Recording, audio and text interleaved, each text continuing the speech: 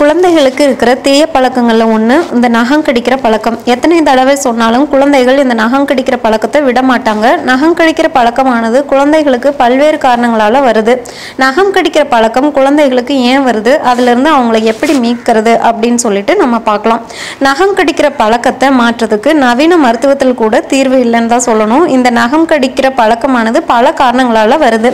கை சூப்புறது வெட்கம் கொள்ளும் தன்மை மனசோர்வு கவலை வேலை இல்லாமல் சும்மா இருக்கிறது தனிமையில் இருக்கிறது வீட்டில் இருக்கிற நபர்கள் இல்லைன்னா பள்ளியில் சக மாணவர்களிடம் இருந்து கற்றுக்கொள்வது நகத்தை பெற்றோர்கள் குறிப்பிட்ட இடைவெளிகளில் வெட்டி விடாமல் இருக்கிறது இந்த மாதிரி காரணங்களால் குழந்தைகள் வந்துட்டு நகம் கடிக்கிற பழக்கத்தை ஏற்படுத்திக்கிறாங்க.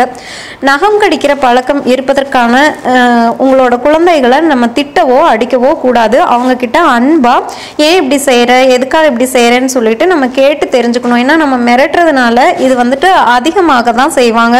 நகம் கடிக்கிற பழக்கத்தினால உண்டாகிற தீமைகளை பற்றி நம்ம குழந்தைகிட்ட விலக்கி கூறினாவே போதும்.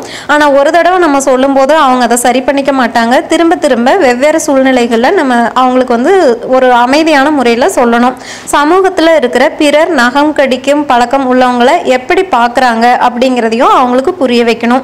பள்ளியில் பாடம் கஷ்டமாக இருந்துச்சுன்னா இந்த பழக்கம் உண்டாகும். பிற குழந்தைகளை பார்த்தும் நம்மளோட குழந்தைகள் இதை கற்றுக்கலாம் பசியாக இருக்கும்போது தனிமையில் இருக்கும்போது கூட இது போன்ற பழக்கங்கள் ஏற்படும். இதை வந்துட்டு ஸ்கூலில் இருக்கிற டீச்சர்ஸ் இல்லைன்னா குழந்தையின் மீது அக்கறை இருக்கிற ஏதாவது ஒரு நபரின் வாயிலாக நம்ம சொன்னோம் அப்படின்னு சொன்னால் அவங்க கேட்டுப்பாங்க. ஏன்னா நிறைய டைம் வந்து பார்த்திங்கன்னா நம்ம சொல்கிறத விடவும் ஸ்கூலில் டீச்சர்ஸ் சொல்கிறாங்க இல்லைன்னா அவங்களுக்கு பிடிச்ச வேறு யாராவது நம்மளோட ரிலேஷன்ஸ் சொல்கிறாங்க அப்படின்னு சொன்னால் அதை வந்து அவங்க கேட்குற மென்டாலிட்டியில் குழந்தைகள் இருப்பாங்க.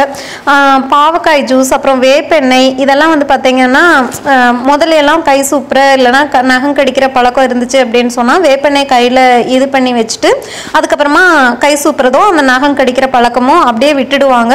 ஸோ குழந்தைங்க வந்து தூங்கும்போது கையில் வேப்பெண்ணெய் இல்லைன்னா சோத்துக்கத்தலை இந்த மாதிரி ஏதாவது ஒன்று தடவிடுங்க. இந்த மாதிரி செய்கிறதுனால அந்த கசப்புத்தன்மை காரணமாக குழந்தைகள் வந்துட்டு நகத்தை வாயில் வைக்க மாட்டாங்க. நாளடைவில் இந்த பழக்கமும் சரியாயிடும். மேலும் தகவல்களுக்கு சேனலை சப்ஸ்கிரைப் பண்ணுங்கள் தேங்க்யூ